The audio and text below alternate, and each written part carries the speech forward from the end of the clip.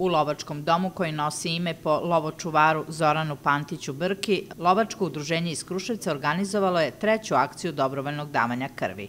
O toku akcije beležimo izjavu predsednika udruženja Miloša Lazarevića. Ovo je treća po redu u našem objektu u lovačkom domu ovde gde se nalazimo i zahvalio bi se svim lovcima, mada ono što, što, što je lepo videti danas ovde imamo ljudi koji nisu lovci, Mi smo počeli jutros u 9 sati sa akcijom u saradnji sa Crvenim krstom Kruševac i Zavodom za transfuziju e, krvi Niš. E, već imamo nekih dvadesetak davaoca.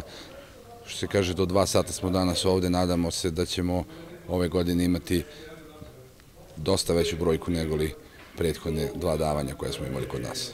U Lovačkom udruženju ističu da svaka akcija koju sprovedu u domu na Jasikovcu dovede uvek veći broj dobrovoljnih davalaca krvi, lovaca, ali i onih drugih koji se ne bave lovom.